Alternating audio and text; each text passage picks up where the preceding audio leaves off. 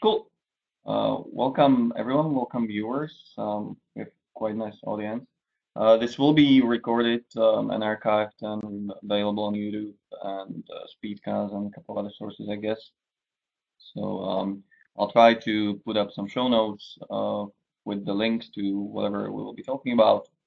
Um, so you can you can watch it later or send it to your friends afterwards if you like it. We'll do. Um, okay, I guess let's just start with with basic.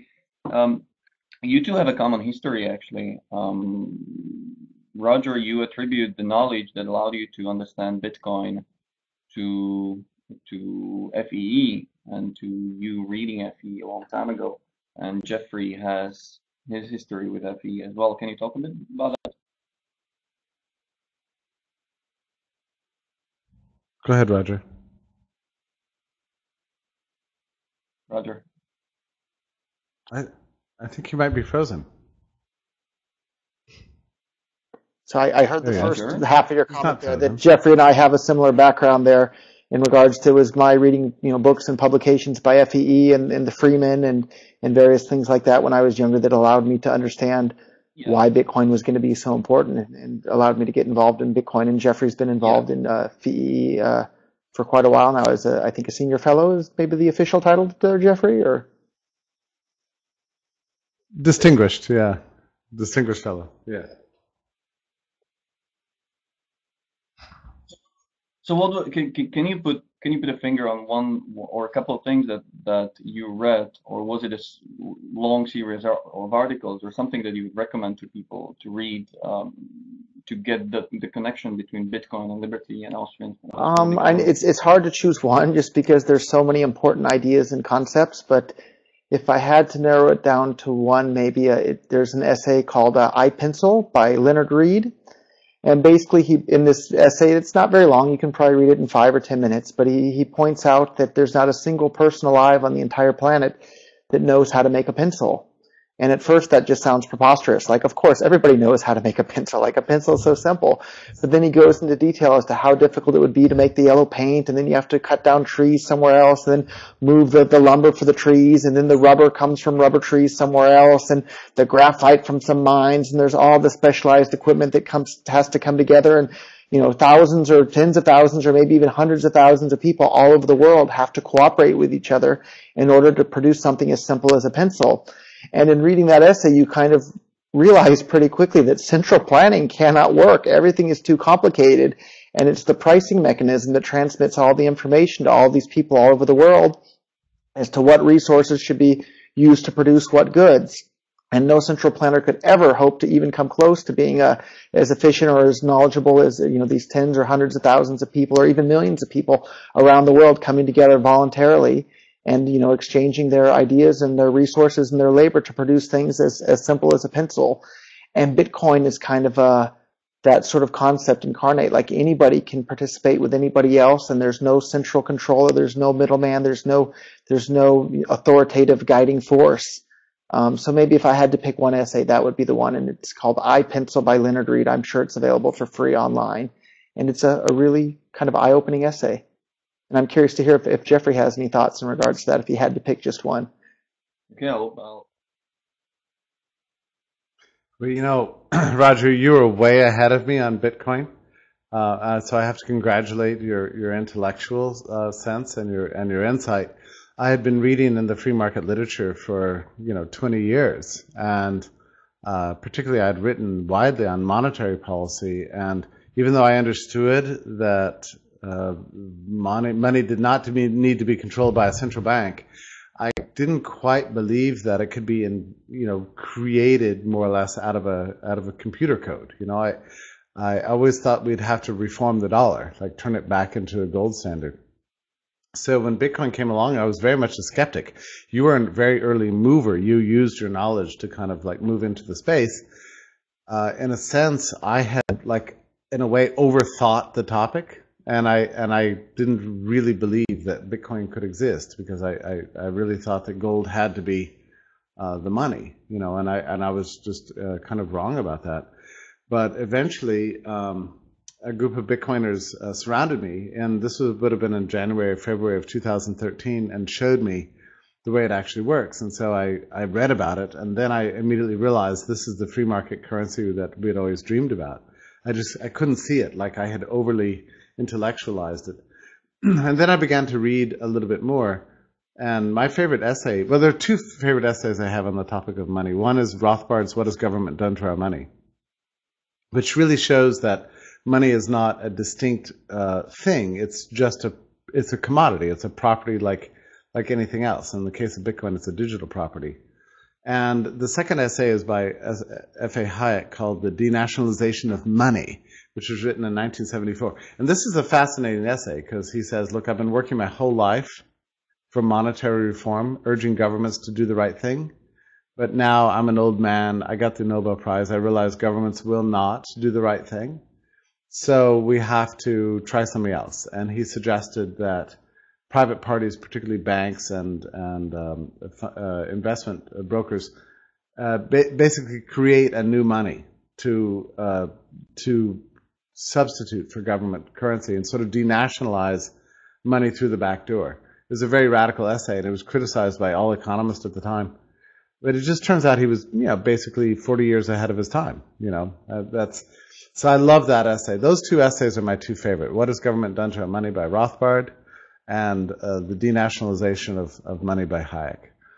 But again, I, I do want to emphasize that um, uh, Roger had special entrepreneurial insight. I mean, he, you know, had the broadness of mind to imagine something completely new.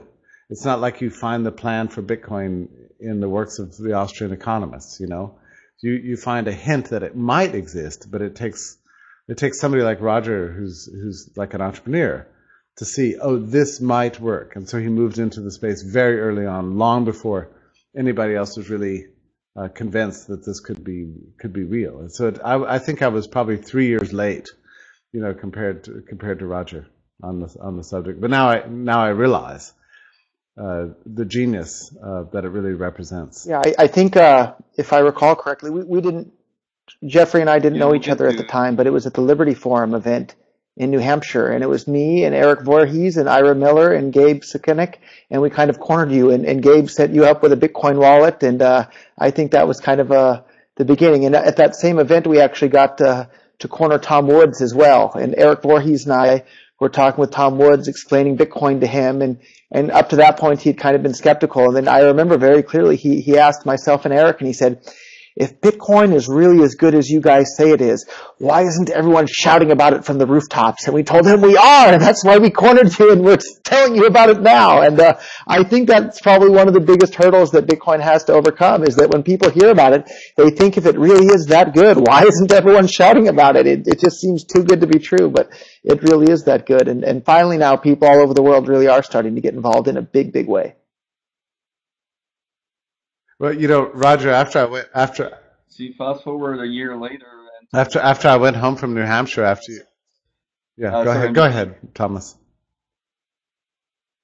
Go ahead. No, I'm just saying. Uh, fast forward one year ago, and Tom Woods is actually writing uh, or has, has published a book about Bitcoin, or co-published. Yeah.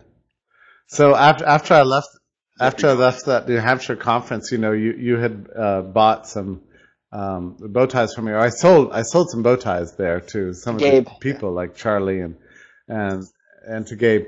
And so I came home with Bitcoin on my on my blockchain wallet, and and I went to a site called uh, Bitcoin Store, uh, which I think you found it actually. If I'm I'm not yep. sure, but yep. yeah, and yeah, and and I and I spent it. I was sitting alone at my dining room table, right? So I'm like pulling up my computer went to the Bitcoin store, and I bought the first thing I could find, uh, the first item on the site, which was a pair of crimping pliers.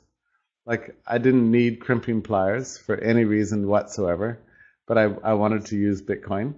So I I I, uh, I spent uh, some money on some crimping pliers, and it just took me a second, right? Like I scanned the QR code, I pressed the button, and it was done.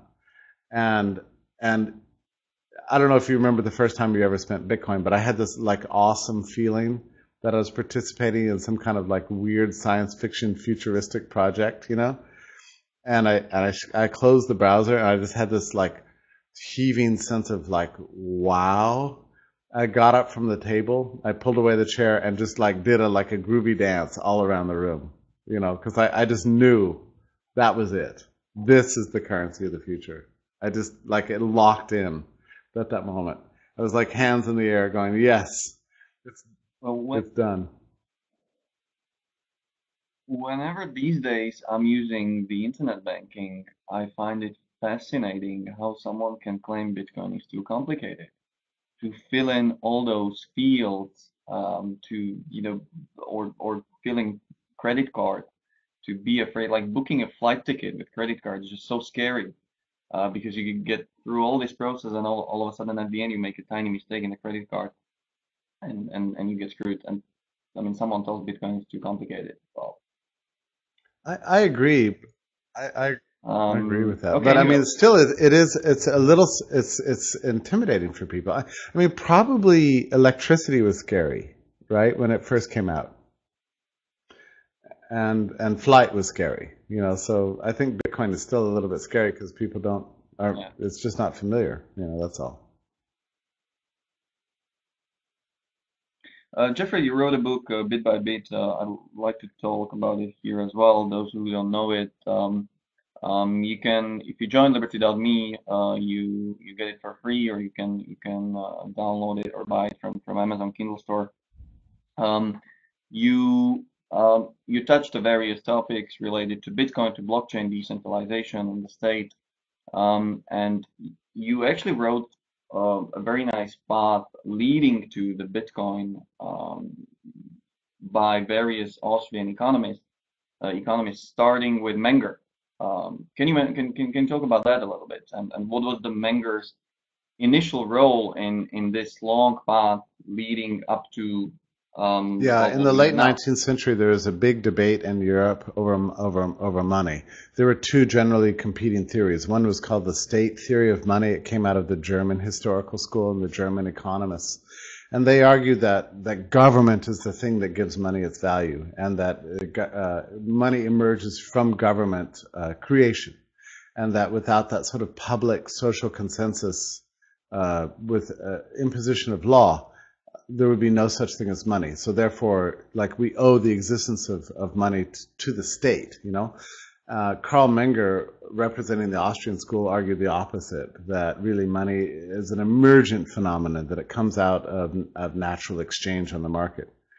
It begins in, the market begins in barter, and money represents a, a kind of uh, facilitator of exchange, an, a, a tool that you acquire not to consume it, but to acquire in order to facilitate further exchange. So it becomes a, a kind of a tool of, of indirect exchange, a facilitator of exchange, and therefore a, a, a, a carrier of, of value. And he pointed out that money has many properties like um, like fungibility, divisibility, durability, uh, high value per unit of weight, uniformity um, of its qualities, and things like this. These are all the features of money. So he argued that money was really an, um, something that grows out of natural human experience. It's not something imposed from above, uh, from above. And that's the Austrian, that's the beginnings of the Austrian school with, uh, with Carl Menger. You can still download his essay. It's called uh, On the Origins of Money. And in many ways, like his story that he tells is the same story of Bitcoin, you know, which itself emerges out of the market. I mean, it was introduced, um, the blockchain um, was introduced in uh, early January of 2009, and Bitcoin begins to obtain its first value and something like per, first posted value in October, I believe, 5th of 2009. So something like 10 months later, you know, uh, where it was like something like a 15th of a penny. Roger probably remembers these days. I don't, I, I wasn't there, so I don't, I don't know. But um, it was something amazing. Roger, were you were you um, using uh, blockchain technology in in 2009? No, no.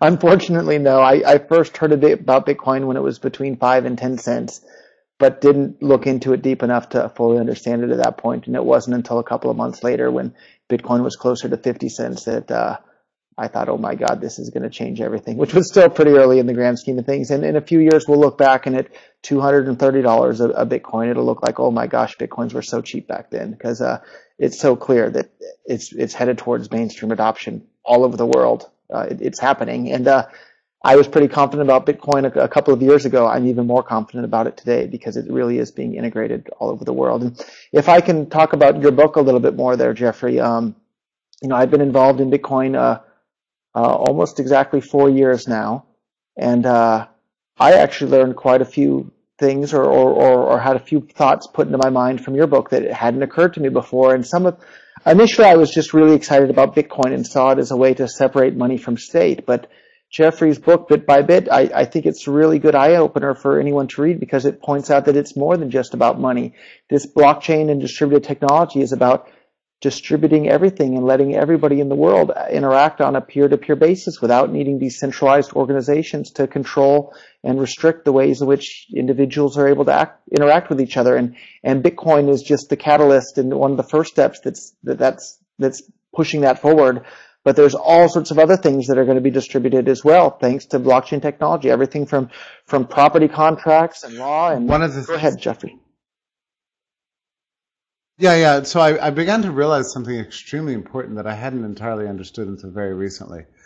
Um, the Leviathan state, as it emerged in the early part of the 20th century, with with uh, wage controls and, and, and war and central banking, antitrust regulation, income taxes, all of these massive institutions that, that states constructed in the early part of the 20th century were all designed to kind of intervene between people's desire to bargain with each other that emerged in the late 19th century. The 19th century was largely an age of laissez-faire. So we began to see these emergence of uh, peer-to-peer technologies, like first the telegraph, right, and then and then and then um, you know we began to see through that communication technology a, gr- growth of other technologies like internal combustion and, and flight, the age of steel. I mean, civilization began to go on fast forward in, in a big way. And the early part of the 20th century, what you saw was a kind of revolt by the ruling class. They said, look, there's enough of this. Uh, the wrong people are getting rich. Um, there's too much social progress, too fast. The elites are being overthrown. It's threatening our positions in power. So they began to disable uh, the um, peer-to-peer systems that were emergent in the late 19th century. So then we lived through like a century of, of terrible things happening, where states have been trying to prevent us from bargaining with each other. Um, but in uh, basically at the turn of the millennium, we saw the first evidence of uh, new kinds of systems, distributed networks, that were enabling people to once again recapture their rights to communicate with each other and trade. And with the blockchain now, we have the first time that we see the possibility of using technology to title, commodify, bundle information and transport them on over geographically non-contiguous lines in a way that's non-forgeable and non-reproducible. It's like a freaking miracle, right? So we see the possibility within this technology of a recreation of the age of laissez-faire, not just a recreation, but a massive expansion of it that goes around the whole um, uh, intermediating institutions that, the state has created, these third-party trust agencies that have uh, that prevented us from from constructing the kind of world we want uh, to build, just because of our nature and our freedom and our ambitions to to better our lives. So that's to me the significance of the blockchain. It's not just about money. It's really about human life itself and, and our rights to, to, to trade with each other. That's what my book is about. And uh, you mentioned the, the marriage. Uh, you were the first person to, um, I don't know what to call it, uh, witness um, um, a marriage on, on blockchain? Can yeah, you, well, it's kind of cool because we have all these debates right now about about marriage. You know, like who can get married, what are the conditions, what are the terms. Why do we have these debates? It's because just like money was nationalized in 1913, the marriage licenses came about uh, uh, at the same time, basically during the so-called progressive era at the early part of the 20th century. And what it did is it put uh, the, the government in charge of marriage, which is crazy if you think about it. It's like, you know, marriage should be between individuals, you know, on whatever terms they want. There shouldn't be a government that stands between people going, you can, you can't. And because of that government institution, it's highly politicized and we're all debating the question all the time. Well, the blockchain offers a chance for us to uh, contract these kind of intimate relationships in a way that's um, just between individuals and not in, not involving uh, states, but also are kind of enforceable. And you have the possibility on the blockchain to resolve disputes that may or may not have emerge in the case of, of weddings. So yes, I was very pleased to ask to uh, officiate the very first uh, blockchain wedding, as far as I know, the first one in history, and that that happened, uh, I guess, a couple of months ago. I was very moved by it. At first, it seemed like a little bit of a silly idea, but then as soon as the bride began to march down the aisle, I started crying, like I was like tears, and then I realized this is hugely significant because it offers the possibility of of actually privatizing um, marriage and, and taking it back to what it always was in history, which is a, peer-to-peer uh, relationship. And it's made possible today by, by the blockchain. Um, Roger, um, Jeffrey mentioned, and he also described um, in, in, in, his book bit by bit the, the main features of the money that people expect on, and, and if there was a free market in money, they would uh, they will they would want those features and would choose the money with those features. Um, can you talk a bit and explain how Bitcoin actually achieved these features like the fungibility and scarcity yeah, um, and, and, and, so on? Technologically, it, it, it has all of those. I mean, the Bitcoin, the, the supply is scarce. For the most part, every Bitcoin is the same as every other Bitcoin, or if, if it's not, you can mix them up with some other ones. So they then become the same as every other one, and you can send them anywhere in the world. They're they're they're lasting. They don't deteriorate. They don't corrode. Um, when I read about Bitcoin, I realized that this is has all the ideal characteristics of money. Um, and I, I, read, you know, all these books when I was younger, and you know, von Mises and Rothbard and and you know, Adam Smith and all these. And but I think I also actually had kind of a a firsthand experience. For for those that don't know, I, I've spent some time in federal prison. You can Google that and read about it. But I got to see firsthand in federal prison money emerge from consumer goods. So in prison, money really is. It's uh, postage stamps, tobacco, and top ramen soups. And you see an entire economy emerges out of spontaneous order with people, with people paying each other to do various tasks and various jobs for each other. And it's all completely illegal. It's completely forbidden by, by the guards in the system there. But it's it's such an integral part of human nature that of course human beings are going to trade with each other, and money develops out of spontaneous order, and uh, people are using it. And I got to witness it firsthand with my my own eyes, and it was it was plain as day. People are going to use whatever's convenient as money, and the and and Bitcoin has all these wonderful characteristics that make it more convenient to use as money than anything else that uh, we've had on this planet up till now. So uh, it became really clear from a my practical experiences in life as well that Bitcoin was going to become money. That is really, really fascinating. Uh, I find it fascinating. Yeah, that's really fascinating. That. Yeah, I find it fascinating that you suggest that uh, that the that the government is not able to enforce uh, the prohibition of something. I mean, how? That's not possible. If they get, you know, uh, in their head that something is forbidden, like you know, trading cigarettes or something, then they make it work, don't they? The, the audio was a little bit choppy, but no, their, the whole goal there is to dehumanize and take everything away from you that makes you human. But uh, humans will continue to be humans uh, no matter what, and we'll continue to trade with each other for forever. I, I, I wasn't. I, but one of the main main. Uh, I, I went to I, I went to jail for uh, just a little while, not long enough to see uh, money emerge, so I don't have as much street credibility as, as you have.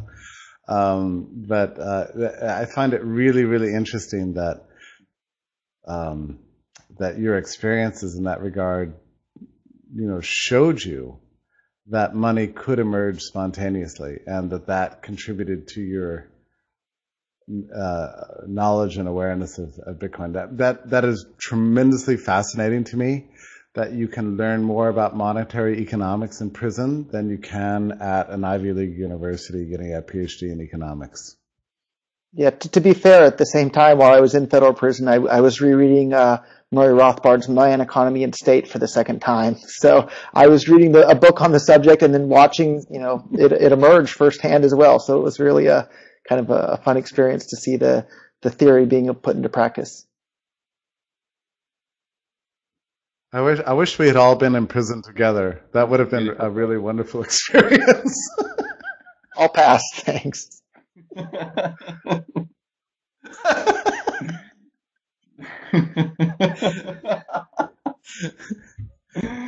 um, okay, but w- one of the fundamental features that Bitcoin should, uh, that money should have. Uh oh, looks like it's just you and I, Jeffrey. Oops, I think we lost Tomas. Oh, Yeah, no, that's fine. Hey, can you tell me? Oh no.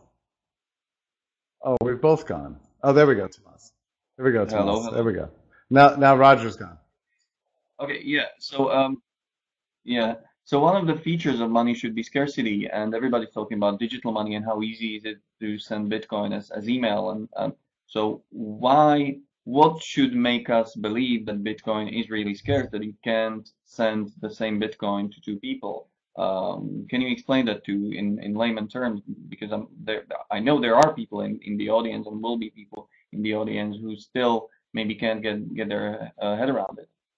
Sure, I'd, I'd be Um, glad I to ge- explain I- that if, if Go.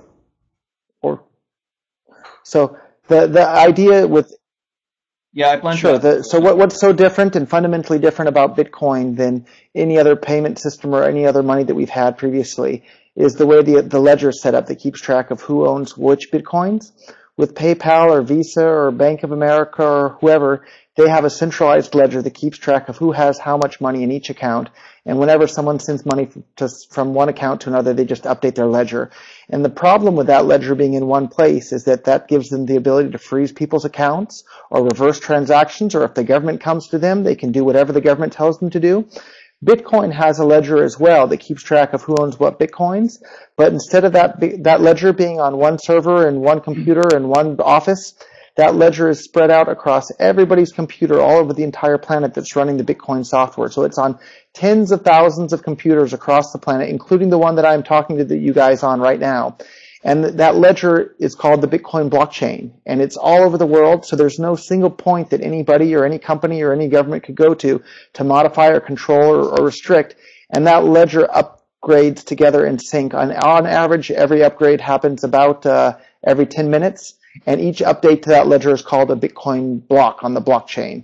Um, so a new block is created about every 10 minutes, which records all the transactions that have happened since the previous block. But the, the key amazing part about it is that it's not in any one place. It's, it's everywhere and nowhere at the same time. And that kind of makes it uh, invincible from centralized control. Yes, the, the, And um, so what? the, the network is very, very closely monitored. Um, there's a great deal of incentives to to make sure that all the rules are adhered to. I remember in April 2013, Roger probably remembers this too. There was a block admitted into the blockchain that had insufficient number of confirmations, and as soon as that was discovered, um, the community uh, demanded a fork in the chain, and uh, the blockchain was forked, and the the price fell about uh, 10 or 20 percent uh, during this time, and then uh, the enough confirmations came in for the new uh, block that had been admitted to the chain, and uh, the the fork was was healed, um, and, and everything went on just as it had before.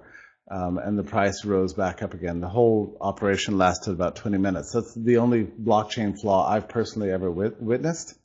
But I thought it was a beautiful illustration of um, just how much more thoroughly transparent the blockchain is than, for example, Federal Reserve policy, right? I mean, so one slight problem appears, one slight uh, uh, issue with rules uh, appears on the blockchain, and everybody's like freaking out, you know.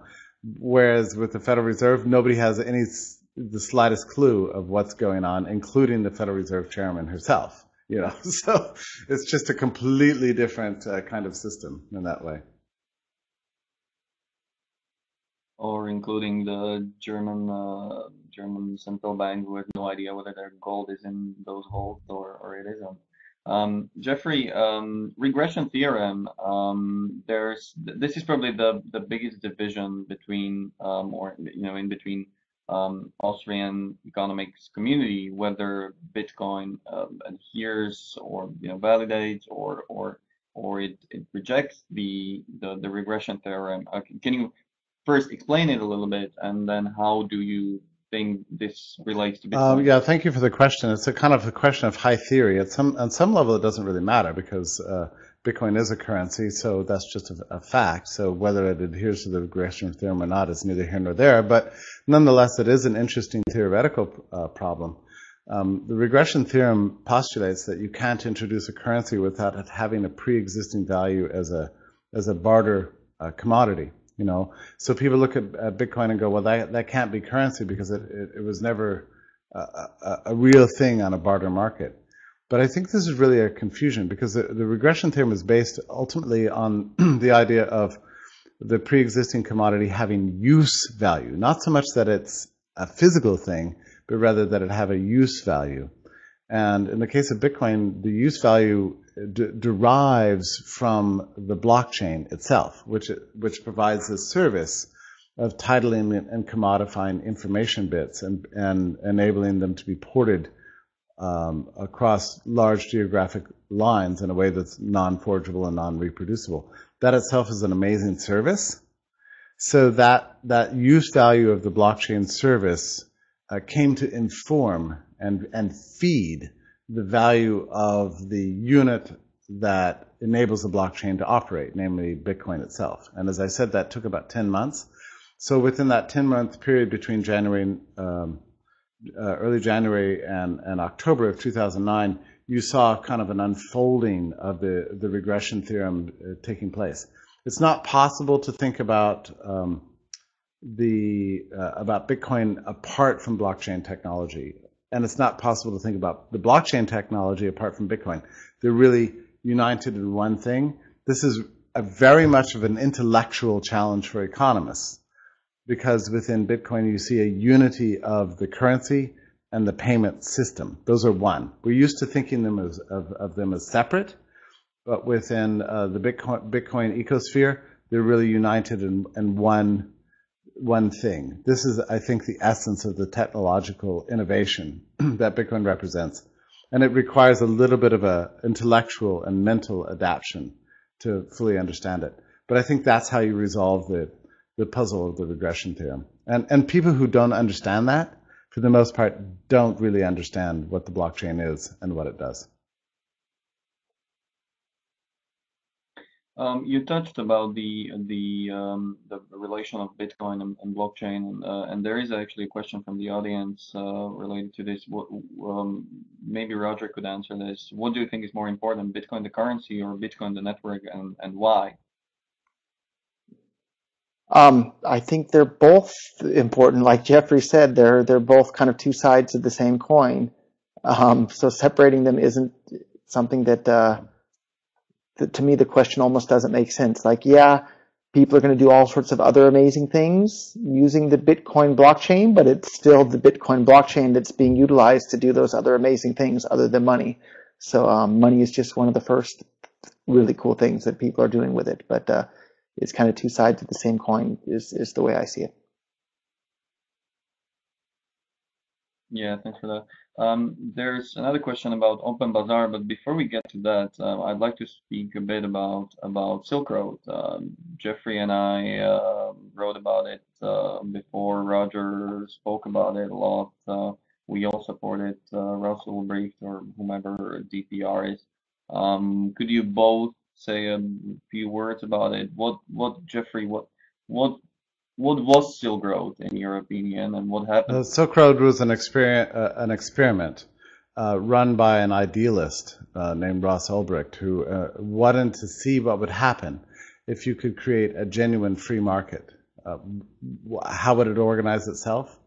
What would what would happen under those conditions. He was convinced that the, the, the, the, market as we know it is seriously truncated and filled with prohibitions and restrictions on on people's ability to you know get along with each other and, and make their own bargains. So he wanted to create a kind of uh, open system that allowed people to trade whatever they wanted. That was the origin of Silk Road. It was an, an experiment, really, in free markets. And Ross had written me before he built the Silk Road, asking my opinion about what I thought about this. And my answer to him was that if you start such a thing, I said, just make sure that you make it real because this experiment would be very important for the knowledge base of humanity. But um, you can't uh, just make it a game. It, it, should really be people trading real goods and services. And um, I didn't know what Silk Road was going to turn into, obviously, when I corresponded with him, but I offered at the time to uh, host the website uh, for him. So um, I'm a little bit surprised that the FBI never actually called me.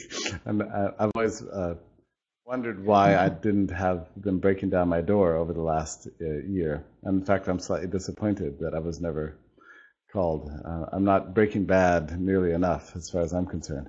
But uh, but he Ross was an idealist who really wanted to see what this market would look like, and and actually, it was an enormous success.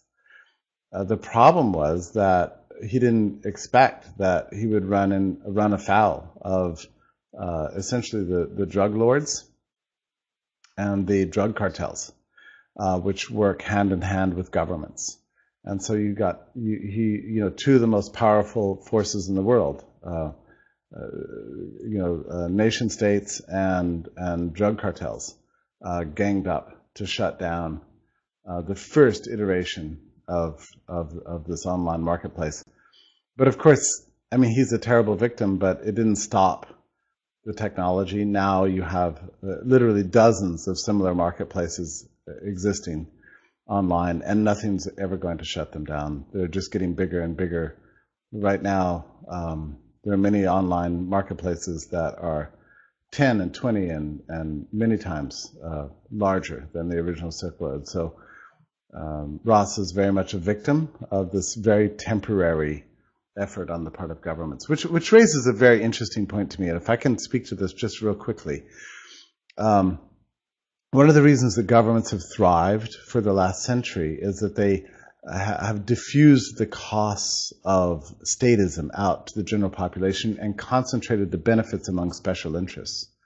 But with peer-to-peer technology, what we're doing is turning that logic on its head and we're diffusing the benefits of markets throughout the whole of humanity and concentrating the costs of stopping them uh, among a handful of bureaucrats and, and judges, uh, essentially, and, and police state agents.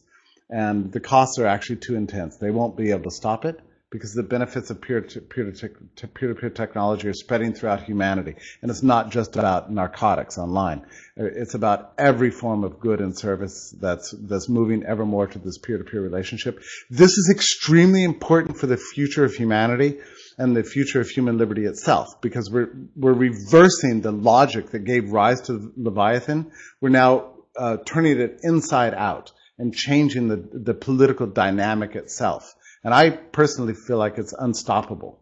There's going to be a lot of victims along the way. Uh, people like uh, our, our, our dear, dearly beloved uh, Ross Ulbricht.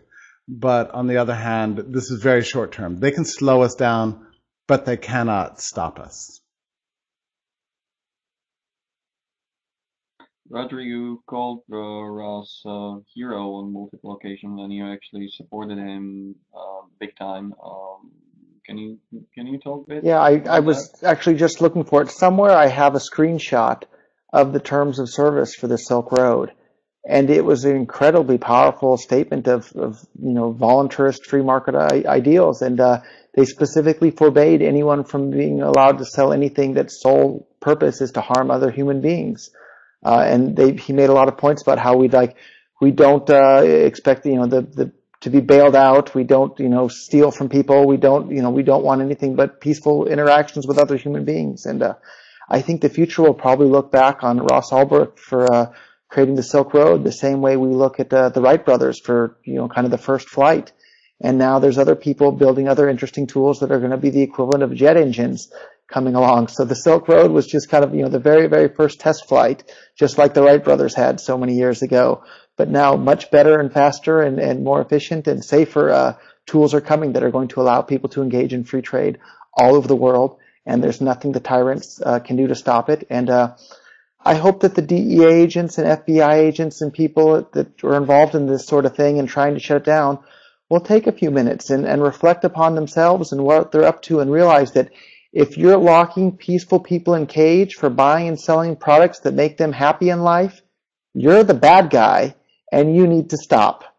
Uh, and Bitcoin's giving us a way to put those people out of a job and they're going to have to go and find peaceful work and honest work rather than locking, you know, enterprising young, young men in jail for making the world a better place.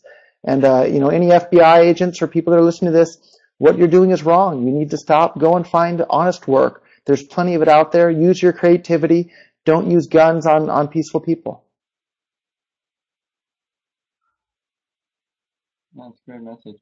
Um, now, after Silk Road has been shut down and, and a couple of other sites like that, uh, there's a push towards decentralizing all these services. Uh, do you, uh, Roger, do you know anything about OpenBazaar, about uh, StorageA, MaidSafe, uh, things like these that Samuel Samuel has been? Uh, yeah, if the Silk Road was the first little test airplane of the Wright brothers, all these other things that you mentioned are uh, you know, becoming more and more refined, and uh, you know, maybe the equivalent of uh, you know, jet planes are, are coming on the way, and uh, a lot of those things you mentioned are going to be that, and they're going to be uh, beyond the control of any you know group of men with with guns wearing fancy suits with uh, shiny badges. Like it doesn't matter.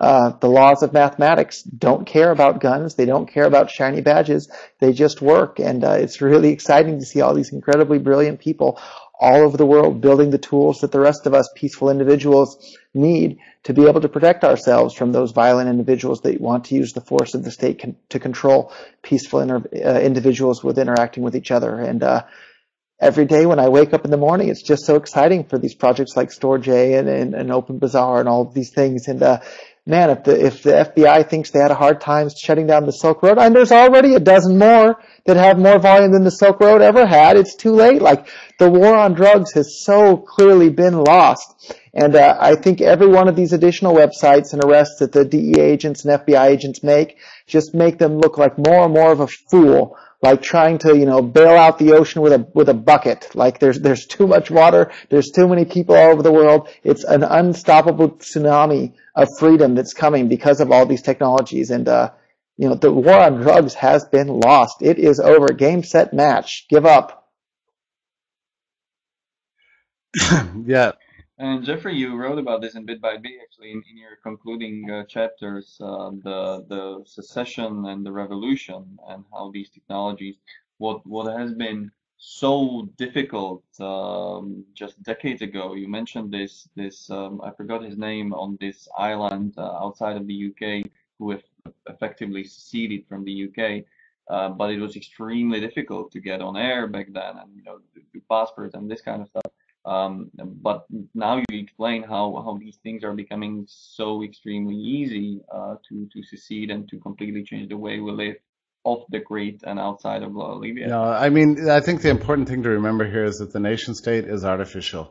It's, it's contrary to human nature. It's not what we want. And what we want is peer-to-peer en- engagement. That was very difficult 50 years ago. Uh, now we have all the tools uh, we need Roger mentioned uh, the OpenBazaar, which is an absolutely brilliant project. I'm also an advisor to a company named Factom, which uh, is a kind of a, a, ledger that that allows you to title any to offer property titles for any anything like wills and, and deeds and anything that involves documentation of, of property ownership. This is a very nice project. Another another one is Ethereum. I mean, there's so many and so many P2P projects along the way that are using blockchain technology I mean, people are, I mean, it's, it's amazing to think of what's going on right now, you know, and, and it's not, it's, it's mostly happening without a lot of public attention. Journalists don't know about it. They don't understand it. You know, I was on the phone with the New York Times, um, I guess last week, and they're trying to write an article about uh, Bitcoin 2.0 technology, and the journalist was, you know, just, you know, at least she cared, but she knew nothing about it. But essentially, you have some of the world's most brilliant minds right now hard at work constructing an alternative um, like sphere of engagement, you know, that, that exists outside the nation state, that, that, that floats above the, the crazy things we call uh, borders and states and, and allows humanity to kind of come together to, to build civilization uh, together based on these distributed network models. It's very beautiful and extremely inspiring. And we've only begun to see the, the, the beginnings of this, really. I mean, I think in the next five or ten years, this stuff is going to um, uh, going to become the you know the stuff that's going to liberate humanity. Uh, the nation state cannot survive this level of of innovation, and and what Roger called the tsunami of freedom. I think that's exactly the right way to think about it. Uh, there's no way, no state in the world that can shut it down. We really do have the killer app, uh, I would say, for the nation state at this point. It's just going to be a matter of time and hard work. Uh, Jeffrey, you mentioned um, in the, there's a question from Mike from the audience. You mentioned in your in your book and also in your speech in ISFLC uh, altcoins. Uh, can you talk a bit about them and what? Yeah, alt- altcoins are very interesting. It all started with Litecoin. Uh, Charlie Lee, you know, innovated uh, Litecoin, which is uh, based on a slightly different protocol from from Bitcoin. And from that, you have all these kind of spin-off coins that are being created, each of which have their own sort of culture and special functioning. I mean, Darkcoin, you see, has been rising over the last several weeks ever since the Ross Ulbricht verdict, which is a very interesting coin in itself because what it does is it once you, you, you send out of your public address, it scrambles uh, uh, coins and, and remixes them in a way in which Roger mentioned earlier. You can do this because uh, because cryptocurrencies are ultimately fungible, and then spits them out on the other end in a way that obfuscates their origin and makes them land in another public address, so you cannot actually uh, publicly connect uh, the, the two uh, the two addresses. That's Darkcoin. That's just one example. Another example that's very popular these days is, is Dogecoin.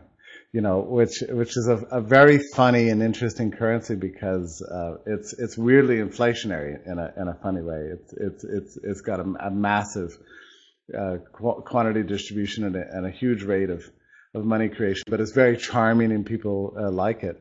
But but really, I I think last last count I saw something like six or seven altcoins that are valued over uh, one uh, one dollar in their exchange rate uh, relative to the American dollar, which is which is by itself a miracle. Like Roger probably remembers when Bitcoin got over one dollar, everybody was like freaked out. Like, is this really supposed to happen?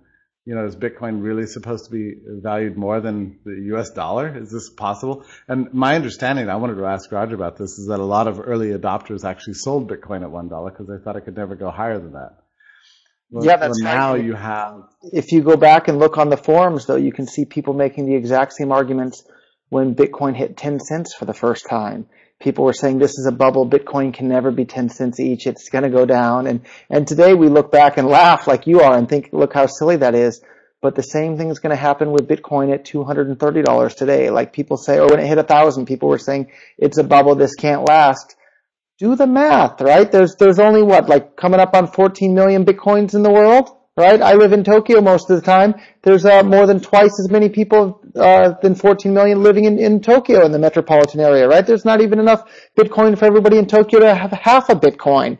And this is becoming the currency for the entire world. Of course, Bitcoin is going to be a lot more than $1,000 a Bitcoin. We're we're going to laugh at the days when people claimed that Bitcoin at $1,000 was a bubble. It's going to look silly, just like it looked silly when, when people were claiming that at 10 cents Bitcoin was a bubble.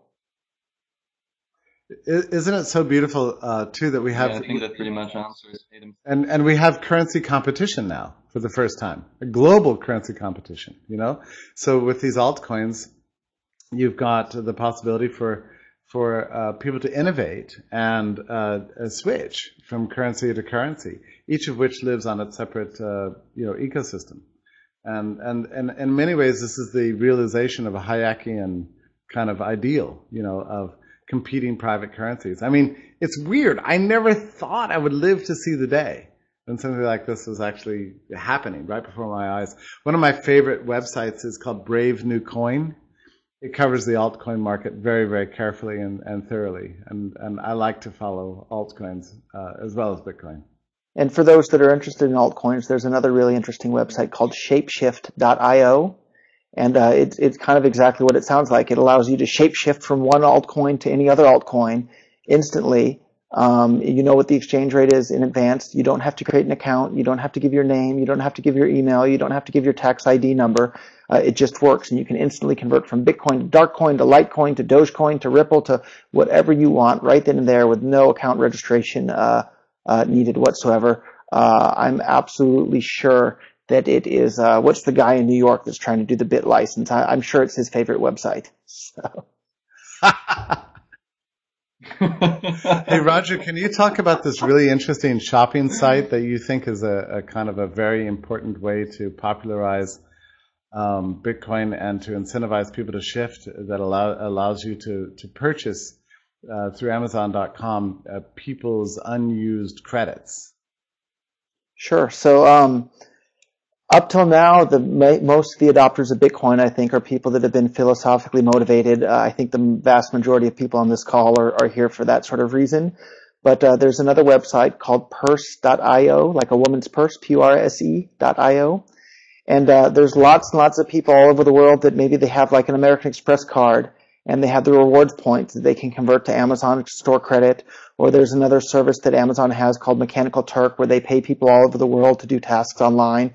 And all these people wind up with a bunch of Amazon.com store credit that maybe they wouldn't necessarily want anything from Amazon or it'll cost too much to ship where they're at. So what this website purse.io does is allows anybody who has something that they want from Amazon you can add it to your Amazon.com wish list, submit it to this site that acts as an escrow, put the Bitcoins on escrow with them, and one of these other people will buy the goods that you want from Amazon. Amazon ships it directly to your house. You receive it. The other person the, receives the Bitcoins. And the net result is that you can get a 20, 25, even a 30% discount on whatever you want from Amazon.com, shipped directly to you from Amazon. There's no risk of fraud because you don't release the escrow until you physically receive the goods, and then these other people receive the bitcoins. Uh, so I've been buying all sorts of stuff. Uh, I just recently bought an iPad Air 2. I got a 29% discount. I saved like $180 by using Bitcoin. And uh, it was the first time ever I've seen lots of people that aren't philosophically motivated. They think, you mean I can save 20 something percent on goods from Amazon by using Bitcoin and I can buy uh, Bitcoin for about a 1% fee? Show me how. And they get so excited and they start doing that. So I really think that this is an amazing tool to get all the people interested in using Bitcoin that aren't philosophically motivated to, to do so. So if you have friends or family that don't care about monetary policy, they don't care about free markets, they don't care about any of it, Tell them, hey, you can save 25% buying your next set of laundry detergent by using Bitcoin on Amazon.com or absolutely anything that Amazon carries. Set them up with a Bitcoin wallet, show them how to buy Bitcoin, and show them Purse.io. And it's going to, I think, attract millions of new users to Bitcoin that wouldn't otherwise have a strong use case to use Bitcoin. And uh, it's really exciting to see it uh, happening right before our eyes. So people are starting to use it. And if you haven't used it yourself, try it out yourself, test it out. You'll be amazed how easy it is. And once you've seen it in action, uh, it'll be easy for you to explain it to your friends and family. So that's purse.io. We'll have that in the in the show notes. Um, one I highlighted one one question before we started this discussion, so I'd like to uh, get it uh, get to it. What do you think uh, ongoing events in Greece is going to give Bitcoin a boost? I don't have I, I, don't have a strong opinion about that, but I, I, I about Greece in particular. But my, my expectation is that in the future, um, national currencies and Bitcoin are going to work together in exactly the way Roger described. So you're going to get these increasing um, systems of interaction because blockchain technology is so efficient and so much cheaper than than uh, trust-based systems like credit cards. That, that I think we're going to see increased incentivization for people to move into Bitcoin, but I don't believe that at least in the near term, we're going to see uh, Bitcoin emerge as its own separate uh, ecosystem. But uh, in the event of a currency crisis, all of that begins to change. You know, um, then cryptocurrency can become a kind of um, safe haven. And uh, this could happen tomorrow morning. You know, it could happen to the dollar, it could happen to the euro it could happen to, to any currency, that uh, things just begin to spin out of control. As we know, most of the banking systems of the world are inherently uh, bankrupt as it, as it is. And, and some one trigger will come along, and I don't think anybody can anticipate exactly what it's going to be. And we could see a, a mass global flee into uh, Bitcoin and or some other cryptocurrency.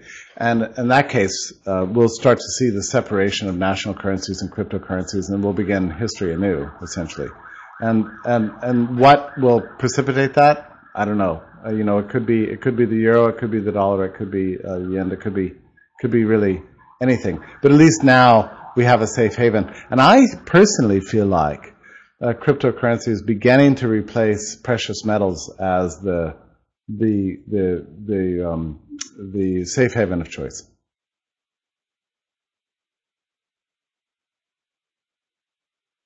Or put an addition. Um, another question from Scottonomics. Uh, regarding the internet and systems like MaidSafe, would it be conducive to liberty and privacy if it was run on the current global infrastructure, or would it uh, only be optimal running on a, on a global mesh? I, I think global mesh nets are coming. Um, they're not quite here yet, but uh, when they come, it just makes all these systems just that much more robust. Um, so people are working on it, but it, it's still a couple of years away. But uh, it'll happen longer than we it will, it'll take longer than we would like, but it'll happen sooner than we imagine. I think so. Yeah, the the innovations of, of, of two years ago. You know, two years ago, people were talking about um, uh, uh, about all sorts of tech, technologies within within within Bitcoin that are just now coming online. Um, and so I think what you're seeing right now is all sorts of discussion and innovations in the Bitcoin 2.0 space we're going to see emerging in, in 2017, 2018. Um, you, that, that seems to be the pace at which we're going. Um, Roger, you've uh, you've been involved in, in few startups actually for, for years uh, related to Bitcoin. Uh, blockchain.info uh, is probably the most significant one. It's uh, it's a website uh, which shows you the information about the blockchain and allows you to set up the free wallet without any any you know, KYC information or, or anything, and it's and it's free. It runs on on iPhone, on on uh, on Android.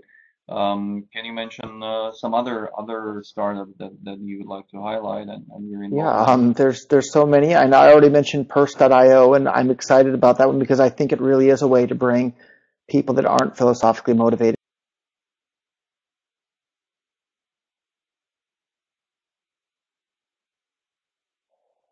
Have I dropped or have I dropped? He'll come. He'll come back in, in, in a second. I'm sure.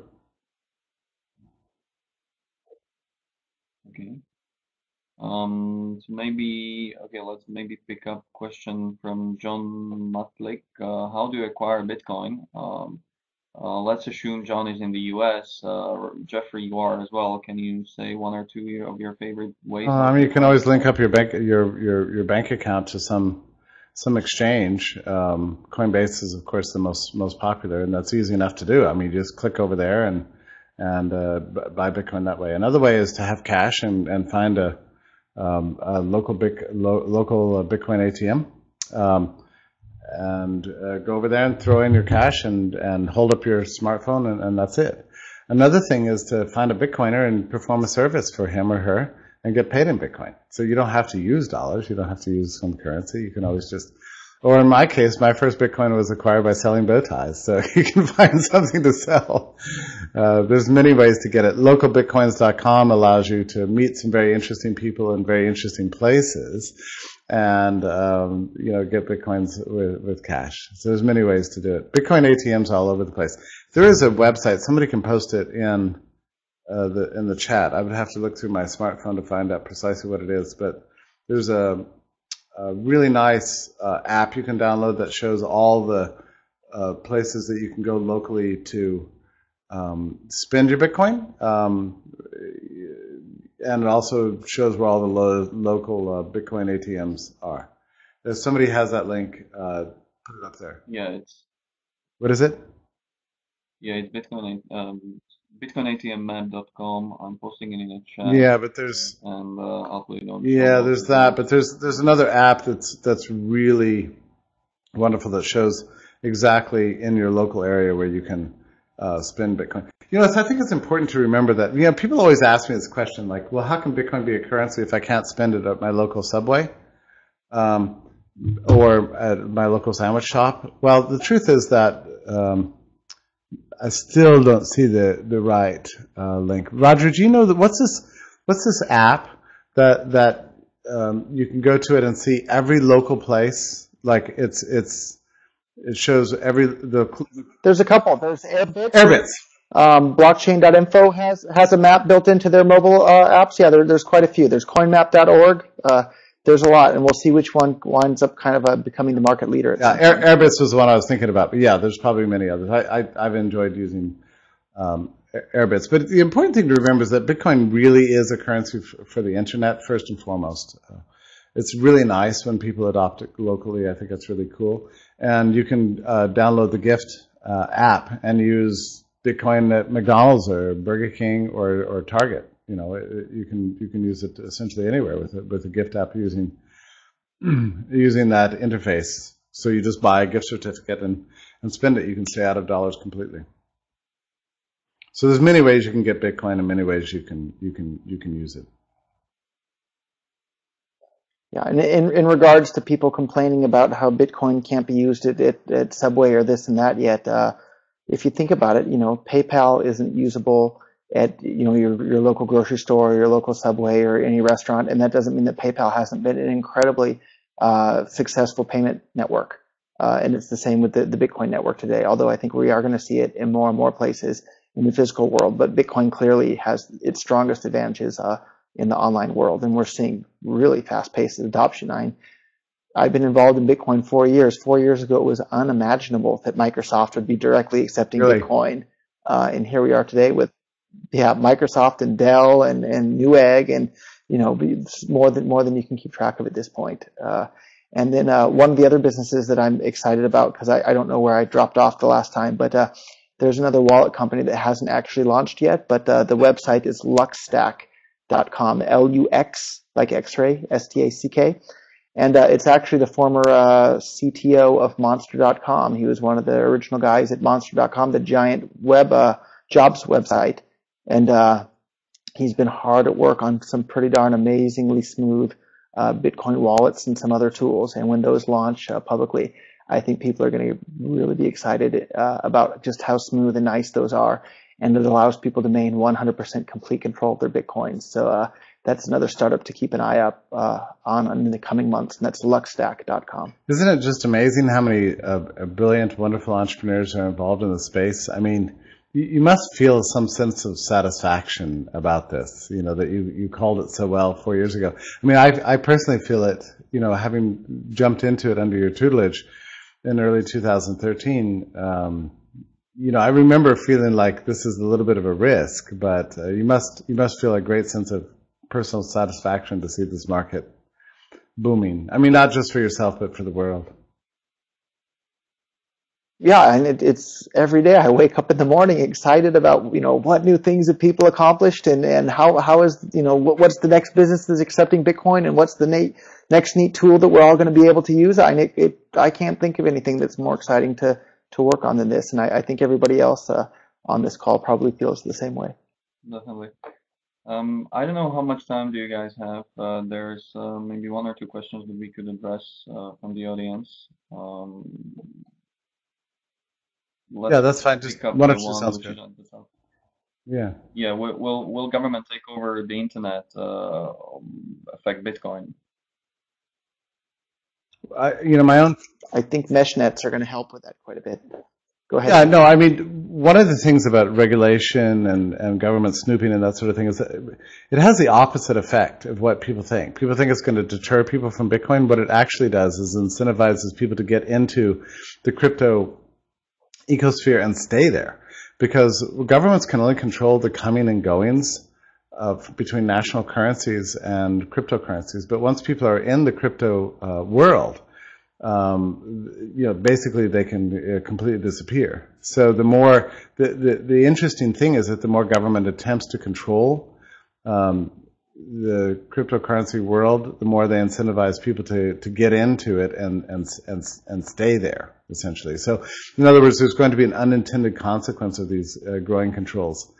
Uh, the second thing is that that nations that uh, like the U.S. that are trying to regulate Bitcoin the way the same way they regulate cash or national currencies are going to be driving out businesses. I mean, already many Bitcoin uh, companies are refusing to do uh, business in, in the U.S. because um, of uh, regime uncertainty and onerous regulations and that sort of thing. They're losing out on job creation. I mean, the Bitcoin space is actually creating jobs and creating wealth.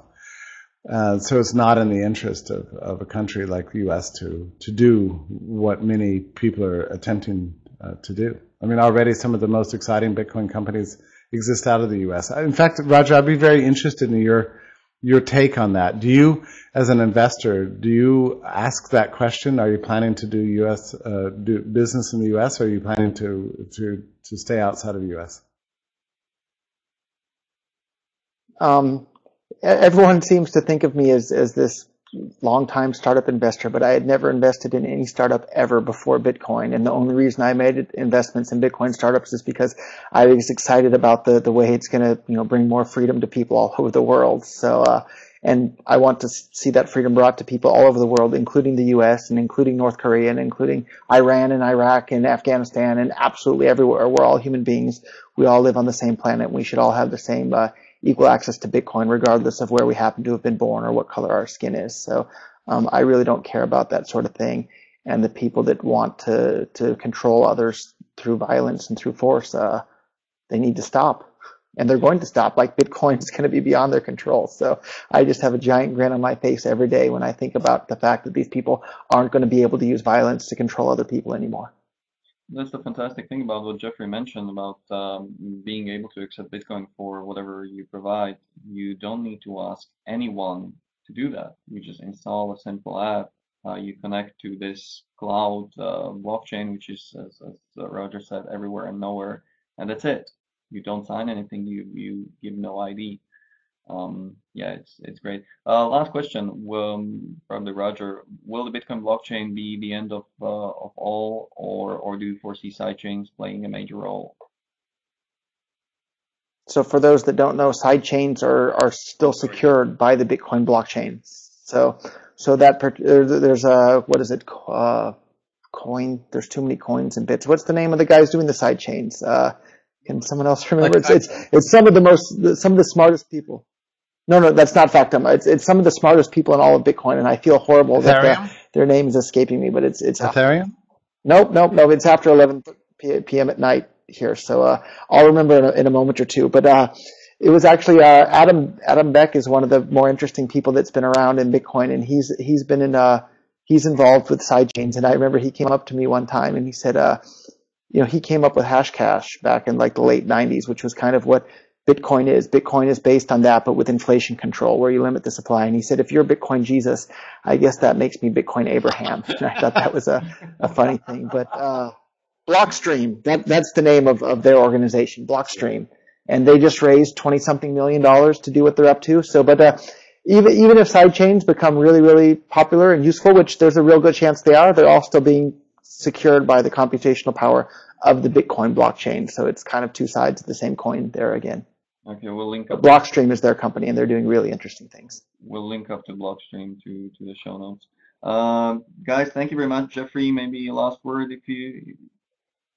If you no, can. I just wanted to I wanted to thank you for being there here uh, for having me on, and yeah, I must say that we're really at the very beginning from an from an intellectual point of view. We're only beginning to understand, beginning to understand the significance of the peer-to-peer revolution. There still needs to be a lot more thought and a lot more work on it. After I finish my book, um, I had uh, maybe this happens with every author, but as soon as I put it to bed, you know, I, I woke up the next day with many, many other thoughts that I wanted to put in the book. You know, we live in an emergent world, you know, uh, with plenty of surprises. We're seeing uh, freedom being uh, regained, uh, re-understood, and recreated and rebuilt by a new generation thanks to these brilliant technologies. And I think the best thing we can all do is um, throw ourselves into it. Um, also defer, look out the window, uh, be in awe of the world that's being built around us. Stay humble, listen, learn, uh, engage, and help build a new world of freedom because that's, I think, what's emerging, and we can all play a part and participate in it. So thank you for having me tonight. Jeffrey, thank you. It's always great hearing you make people optimistic. Um, thank you both. Thank you to viewers. Uh, join liberty.me uh, to to get Jeffrey's book for free and to meet um, other other great people. And uh, once this is uh, this is online with show notes and everything, please share it so everybody else can can see it. Uh, thanks, Roger. Thanks, Jeffrey. Thank you, Roger. Thank you for writing the introduction to my book. It means so much to me. And thank you, Tomas, for hosting us tonight. Yeah, thank, thank you all. Okay. Bye bye. Bye bye.